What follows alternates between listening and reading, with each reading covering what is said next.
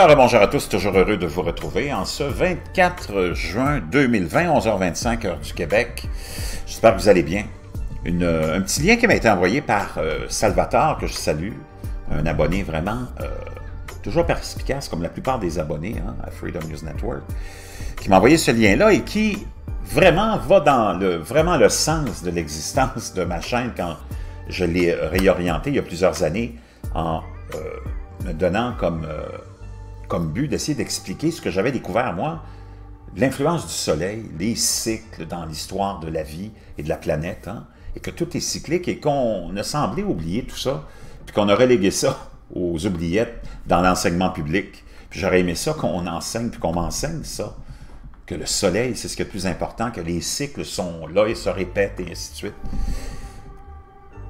C'est fascinant de voir comment on a on passe à, côté de tout parce que c'est le système qui décide de ce que tu vas avoir comme euh, vision du monde et implication, euh, et vision du monde et euh, perception du monde, je voulais dire, et de l'histoire. Hein. Quand tu lis l'histoire qu'on te raconte à l'école, c'est vraiment, minimal. Il, il manque tellement de choses là-dedans. Donc, on va aller voir ça. L'éruption d'un volcan en Alaska aurait contribué à la chute de la République romaine il y a 2000 ans. Selon une nouvelle étude, une éruption euh, du volcan Osmok en Alaska en 43 avant notre ère aurait causé une période de froid anormale en Méditerranée. Juste ouvrir une petite parenthèse ici pour vous rappeler que dans euh, des cycles climatiques, lorsqu'on a un cycle qui est euh, confortable, chaud, hein, qui est vraiment à notre avantage, un cycle facile, ben, il y a toujours une prospérité qui est reliée à ça. Naturellement, c'est vraiment facile à comprendre. S'il fait beau, il fait chaud, l'agriculture va être en plein essor. Les gens vont être capables de prospérer, de se développer parce que le climat sera facile et non austère, rempli de pluie, de vent, de froid et de neige. Donc, quand tu regardes l'histoire, plus ou moins euh, récente ou éloignée de l'évolution et de la prospérité euh, par exemple, si on prend de, l'humain, c'est toujours relié au climat et au cycle climatique. Quand tu es dans un cycle favorable, ben, tu as beaucoup d'évolution, beaucoup de développement, de développement de la science, de la technologie ou de tout ce que tu peux imaginer comme succès économique ou empire ou ce que tu peux voir comme évolution ou prospérité. Puis quand tu t'en vas dans un... puis de paix, puis de, de calme, puis quand tu t'en vas dans un cycle qui est défavorable, tu as beaucoup de crises, naturellement, tu as de la misère, tu as de la famine, tu as des conflits, tu as des guerres. Et c'est ce qu'on apprend maintenant d'une équipe internationale de scientifiques qui pense avoir identifié l'origine d'une période de froid intense survenue en Méditerranée durant la Rome antique et elle serait liée à l'éruption d'un volcan de l'Alaska survenu en 43 avant notre ère.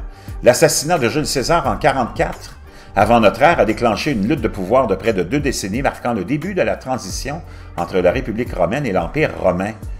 Selon les historiens, cette période a été marquée par d'étranges observations dans le ciel, comme on en a aujourd'hui, un climat particulièrement froid, des maladies, de mauvaises récoltes et de grandes famines. Une équipe internationale de scientifiques pense aujourd'hui en avoir identifié la cause. Dans une étude publiée dans la revue Proceedings of the National Academy of Sciences, elle suggère que les changements météorologiques observés en Méditerranée pourraient être liés à une éruption du volcan Omok situé sur les îles Aléoutienne en Alaska, un phénomène survenu en 43 avant notre ère. Trouver la preuve qu'un volcan à l'autre bout du monde est entré en éruption a effectivement contribué à un déclin des Romains, des Égyptiens et à l'essor de l'Empire romain est fascinant, ajoute, euh, a déclaré dans un communiqué l'auteur principal Joe McDonald du Desert euh, Research Institute de Reno dans le Nevada. Cela montre à quel point le monde était interconnecté, même il y a 2000 ans. Ce spécialiste et le scientifique suisse Michael Siegel ont commencé leur recherche après la découverte l'an dernier d'une couche de cendres volcanique particulièrement bien conservée dans une carotte de glace. Et ça, je vous en parle souvent aussi, hein, les géologues, les vrais scientifiques étudient maintenant la géologie, le cycle euh, climatique de la Terre via ces carottes de glace qu'on prélève dans l'Arctique et l'Antarctique parce que tout est là, c'est le livre géologique de l'histoire de la Terre. Et chaque couche de neige ou de glace représente une année, puis tu vois tout ce qui s'est déposé là, et tout est là, et tout est inscrit là-dedans. c'est beaucoup plus, euh, ça remonte plus à plus longtemps et plus précis que les arbres. Hein. De nouvelles analyses ont été réalisées sur des prélèvements collectés au Groenland et en Russie, certains remontant aux années 1990 et étant restés préservés dans des archives jusqu'à aujourd'hui. Les résultats de ces analyses combinés aux précédentes ont permis d'identifier nettement deux éruptions distinctes. L'une puissante mais brève en, 45 avant Jésus-Christ et l'autre beaucoup plus longue et étendue en 43 avant Jésus-Christ, avec des retombées durant plus de deux années pour aller plus loin, une analyse géochimique a été réalisée sur des fragments volcaniques durant la seconde guerre, la seconde éruption, pardon, et découverte dans la glace et elle s'est révélée parfaitement correspondre. Euh, elle correspond parfaitement avec le deuxième réveil du volcan Ormok. Ormok, pardon, l'une des plus grosses éruptions survenues, soit euh, depuis 2500 euh, ans. Donc, vraiment, vraiment intéressant. Je vais vous laisser cet article-là, vous pourrez aller le lire. Et ça explique hein, vraiment euh, beaucoup de choses. D'après ce modèle, les températures moyennes ont été de quelques 7 degrés Celsius en dessous des normales durant l'été et l'automne ayant suivi l'éruption. Hey, c'est beaucoup, là.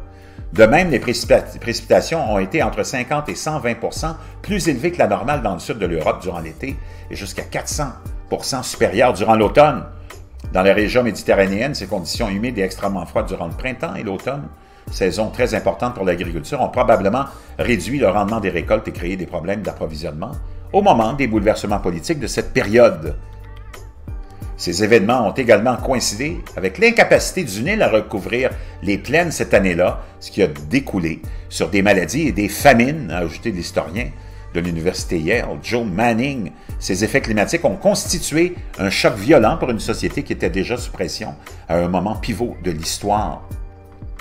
L'éruption pourrait également expliquer les phénomènes atmosphériques étranges observés alors, comme les halos solaires, un soleil assombri ou un phénomène optique faisant apparaître l'image de trois soleils dans le ciel. Ça ressemble à aujourd'hui, non? Parce qu'on a beaucoup de volcans en éruption en ce moment et en activité. Malgré, ou mais les, mais les auteurs précisent que beaucoup de ces observations ont été faites avant l'éruption dans l'Alaska et pourraient être liées à une plus petite éruption de l'Etna en 44 avant Jésus-Christ. Selon Joe euh, McDonald, si beaucoup des facteurs ont contribué à la chute de la République romaine ainsi que du royaume euh, euh, potémaïque en Égypte, également précipité par l'avènement de l'Empire romain, le phénomène volcanique aurait joué un rôle indéniable, une découverte qui contribue à combler un manque de connaissances qui laissait jusqu'ici les historiens perplexes, vraiment intéressant, fascinant.